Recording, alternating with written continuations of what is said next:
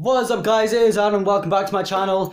Today I've been working on my go-kart. I'm sorry for taking this break as well. I know it's been a while since I've uploaded, but I really needed this break to focus down on stuff that's been really important happening in my life right now. So I've been working on the go-kart quite a lot at the minute.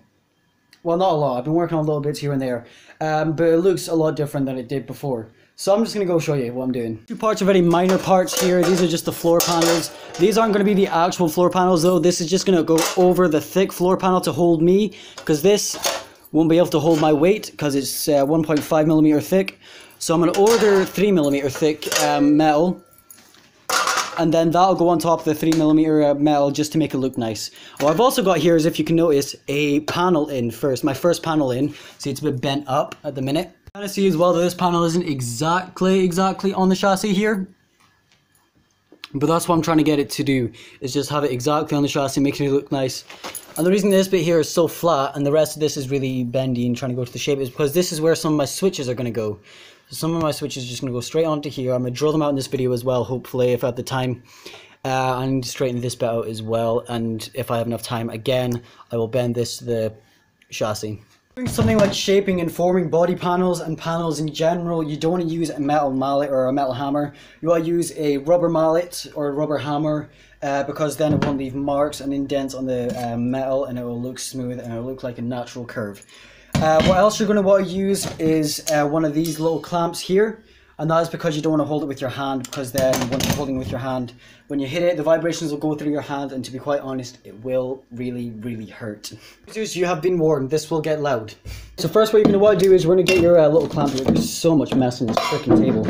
Um, you're going to want to get your clamp here and make sure that it's fit to the size of the um, metal. But you don't want to make sure that it's too tight because then you won't be able to clamp it in and you don't want to make sure it's too loose because uh, then you won't be able to um, well then it won't just be able to hold it.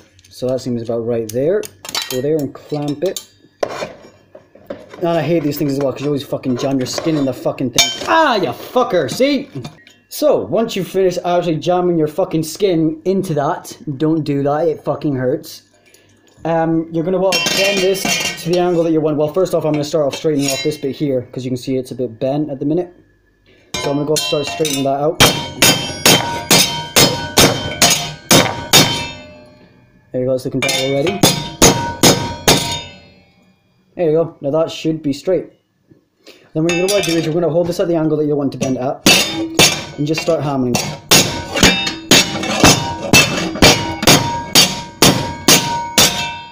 Go.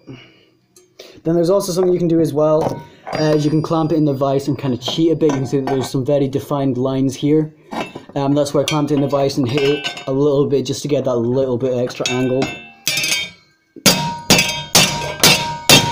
And you can see I'm not using heat or anything for this as well. That's because heat will actually warp the metal once it starts to um, cool off. So that's why I'm not using uh, heat or anything just so it won't warp. Now should be good. Although that is looking much nicer. As you can see that bit there is still a bit off. Um, but it doesn't have to be perfect for right now. It just has to be good enough so I have an idea of where everything is going. Once I get starting to putting this thing together stage, I'll start to make everything a little bit more perfect. Um, but here comes the pain in the ass part of the video, where I have to drill the holes for these switches here. So um, I've just basically, what I've done just now is I'm going to go off and drill the um, holes for the switches. Uh, I haven't done any special drawings or anything, I'm just going to go off and drill out what I want it to be. I've made hole punches what I want to go. Come on camera, focus. Close enough. Um, anyway, oh it might be there actually. Nope, doesn't focus. So yeah, basically what I'm going to do is um, uh, hole punch where I want the other uh, uh switches to go and then I'm gonna start drilling. Now the thing about drilling with metal is if you're drilling a hole, if you see smoke, it's okay. Uh, it doesn't mean anything bad. Uh, just basically get some WD-40, spray it on there, and then keep drilling. If you see fire, it's another story.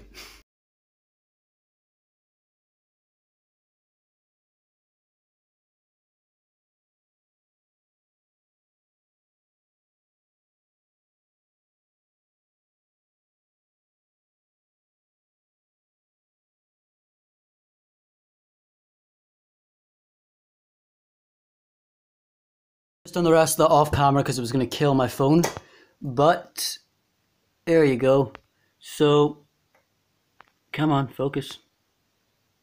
Come on, you had it a second. And yeah, so basically I got that done off camera. As you can see, it's a very small hole. That's because you basically want to go off and do it up in sections. So I've done that little hole. I'm going to move up to a slightly bigger one. Then I'm going to go off and go up to this big drill bit here. Always wear safety glasses. I literally just realized I wasn't wearing safety glasses. Always wear them. So what, so what I've also just done off camera is polish the metal. It was already polished, polished when it came from the factory, when it was built. But, you can focus on that.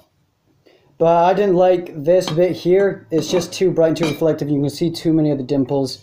I've managed to get most of those dimples out from bending it. So that's good. There's still that big bend though. I can't I can't like blend that out or anything because it's a proper decline and stuff. So that's just gonna have to be there for just now. What I'm gonna do just now is I'm gonna start filing off the inside of this hole that I made. I'm gonna file off the edges as well so they're not as sharp. So when I'm driving around on the go-kart, it won't um it won't catch my clothes. And I'm gonna I'm not gonna do a time lapse for this because I want you guys to see what I'm doing. As you can see, there's a light under here coming through. Now, what you're, what you're going to do is hold the bottom here, have this up an angle. I'm not sure if you guys can see that angle, so here you go. Run about a 45 degrees angle, and you're wanting to do the opposite end that you're pushing. So, um, say you're pointing to, say it's leaning to the right, you're automatically going to want to um, file the right hand side of the hole. Don't file the left hand side of the hole because your finger down here is going to be putting a lot of pressure onto this bit here, and it's going to be getting rid of the uh, sharp stuff a lot more easier.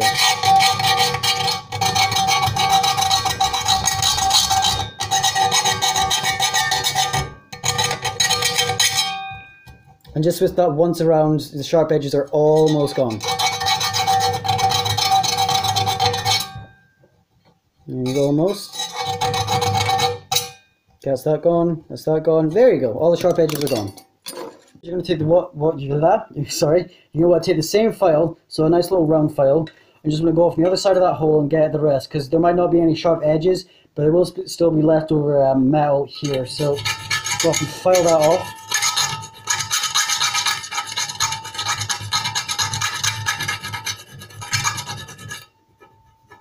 There you go.